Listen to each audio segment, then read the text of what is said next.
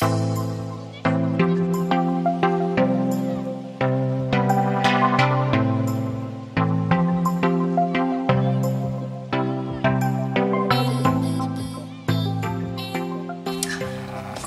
morning everyone. I'm going to do another tumbler today and I wanted to try and do um, a marble tumbler. So I've spray painted my cup black.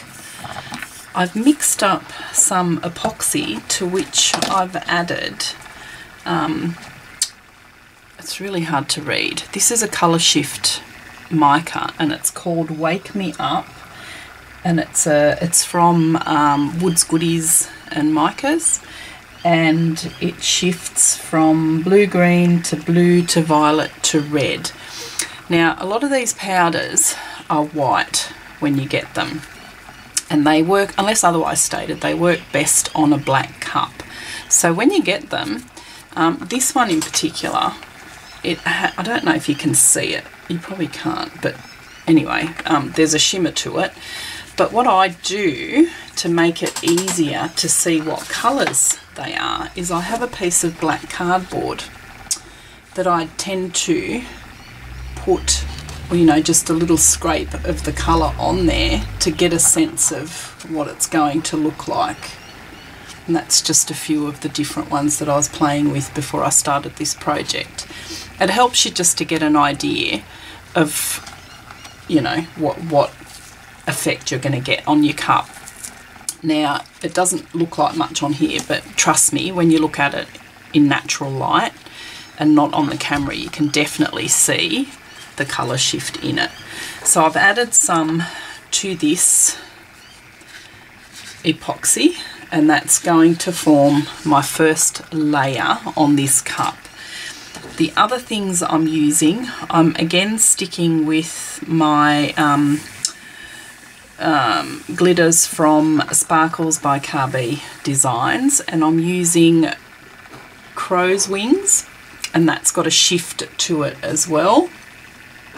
So I've put some of that, you can see the sparkle in that. So that's kind of a purpley greeny shift. Um, I'm also using Great Barrier Reef.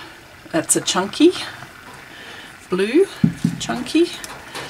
I'm using Windjana, which is a gorgeous blue, and it's actually um, just a regular glitter, it's not a chunky. So I'll put that into my container here, and I'm using this one.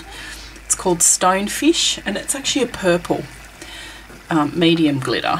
So I'm gonna um, use all of these on this cup, and hopefully it'll actually turn out the way that I'm picturing it in my mind but as we all know when we make cups it doesn't always work out that way but you know all we can do is try. And I'm really sorry but I'm not using my quietest tumbler because all my other ones are busy. So this is kind of my spare one. And um, it's a little bit on the noisy side. So so I'll bear with me. So um, I'll start this. And then we'll see where we end up.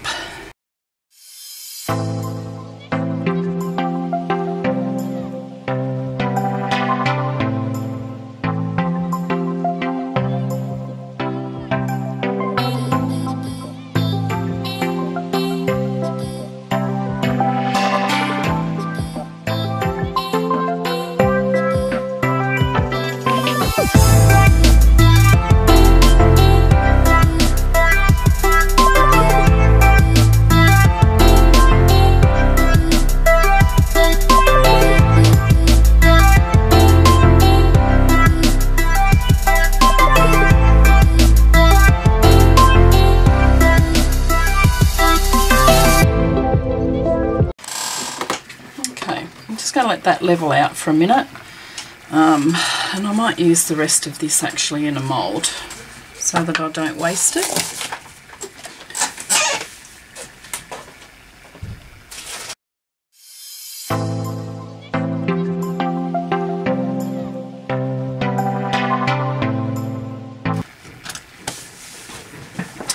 Okay,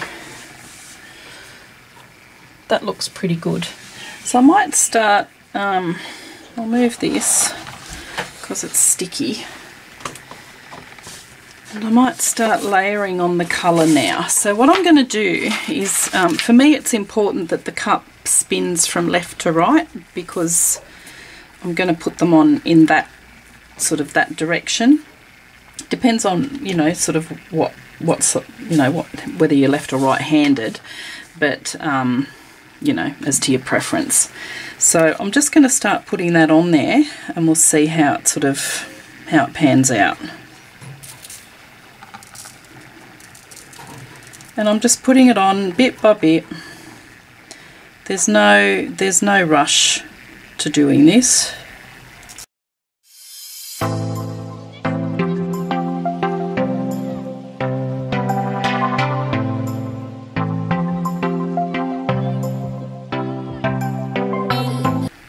come in with some blue now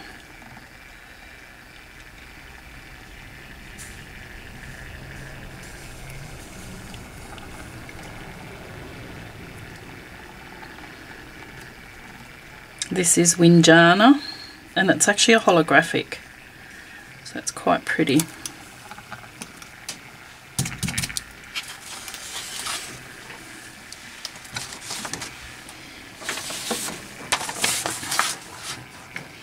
Now on this side I wanted to actually put the chunky, the chunky blue. So when it comes back around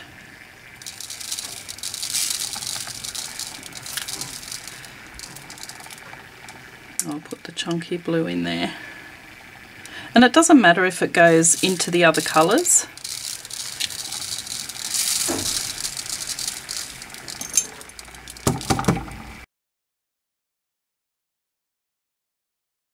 And now I'm going to use crow's wings. Probably on this side.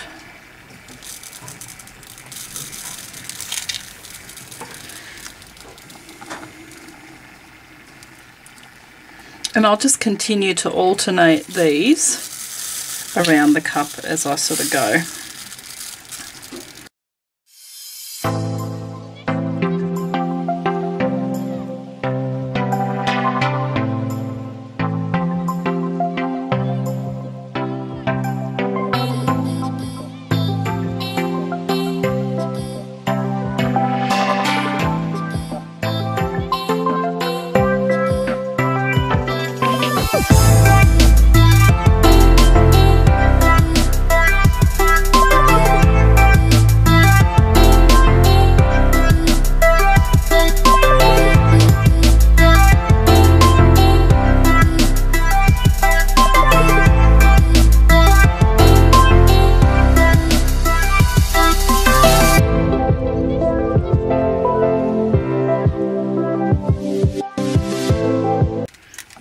Layering it on until you're happy with how it's, you know, how covered it is. It's just like putting on normal glitter.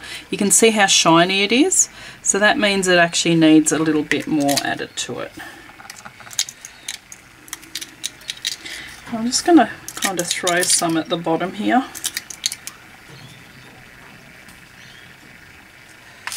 I'm not overly worried about that one, but I'll just chuck it on the bottom.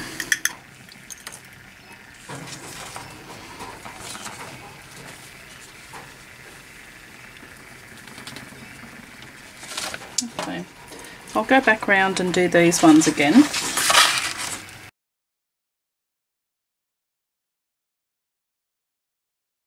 Because you do want a good, you know, like you do want it, you don't want it to be still wet.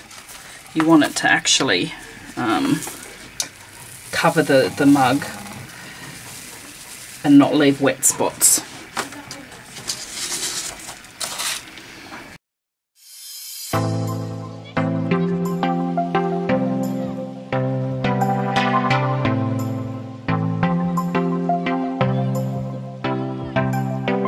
And then um, let me go with the chunky.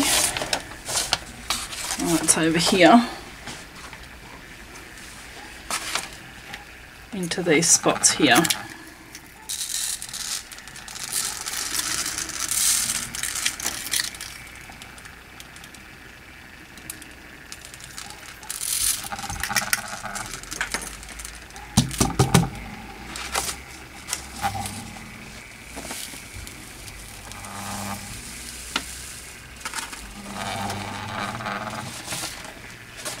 Okay, I'm going to add some more of the blue because it's still looking a little bit wet.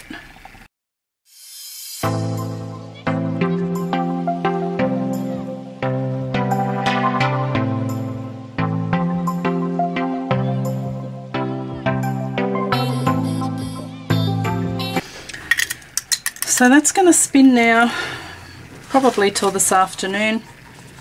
I'm not sure what time it is, um, but it shouldn't take long to sort of dry, and then we'll come back with the next the next part of this process.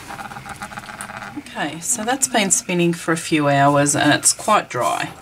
So um, I've brushed off the excess just using um, oh, my brush wherever it happens to be hiding and um, what I'm going to do now is just put another layer of epoxy over the top of that and let that spin again until it dries. And then we'll start with the marbling. So I'll put that on there now.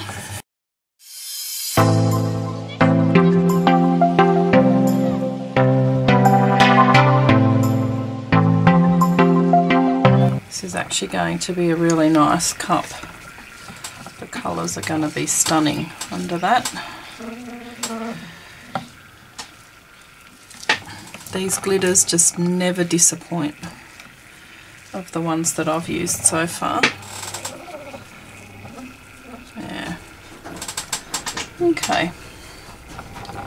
So that's on there now, so I'll let it um, spin and it's not a very thick coat so it shouldn't take that long to dry if I get a chance um, I will definitely do the next process this afternoon. So it's currently 2.13 um, and we'll see what it looks like when it's set. Be back soon. Hey all, back again. Um, it's now been spinning for, well, since yesterday. Um, all I've done so far is put another layer of epoxy over the top and a very thin layer because I don't want the marble to start flowing too quick. So it's got a really thin layer of epoxy over it at the moment. And I've mixed up my marble colours. So I'm using the opaque white from Alumilite, uh, the black. I'm also using this pigment from Sparkles by CarrBee Designs and it's called Sydney Harbour Bridge and it's a beautiful silver colour actually. It's gorgeous. Um, I'm using some Windjana glitter from Sparkles by CarrBee Designs and also the Stonefish um, glitter from Sparkles by CarrBee Designs. I had a little bit of um, clear left over so I actually mixed in some more of this um, Wake Me Up pigment that colour shifts. I don't know if I'll use it yet but I wanted it mixed up just in case. So um, this is my second attempt at doing the marble on this. The first time I did it I used too much black and, and to, to my way of thinking there was too much black on it and it took away too much from the background. So I wiped it all off because it was still wet, cleaned the cup thoroughly and here we go again. So um, all I'm literally going to do is drip very thin streams of colour on there and kind of let it do its thing as much as possible. I may hit it with the heat gun every now and then but generally I'll just you know, sort of let it do what it wants.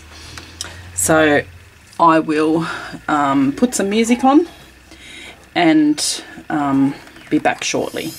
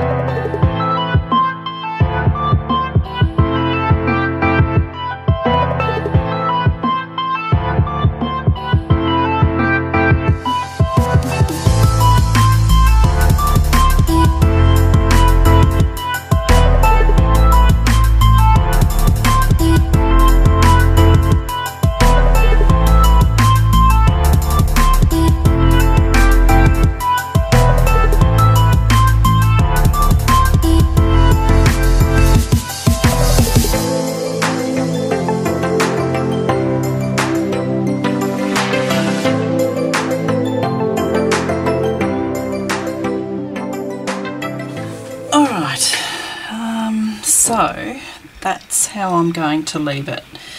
Um, last time I did it, it was there was just too much black on it, and you could only see like really tiny bits of the Windjana poking out here and there. And um, whilst it looked okay, it wasn't the picture that I had in my head. So wiped it all off, cleaned it with some alcohol, um, and started again. So all I had to do was put another coat of epoxy over the top, really thin coat, as I said, and then come at it with the colours. So I guess the thing to remember about marbles is less is sometimes more. Um, really happy with how this looks now because it's got all those beautiful, beautiful colours coming through from the background.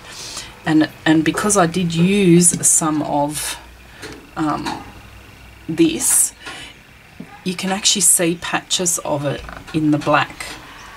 It shifts to purple, to green, you know, just, just does that whole shift and it's really quite pretty.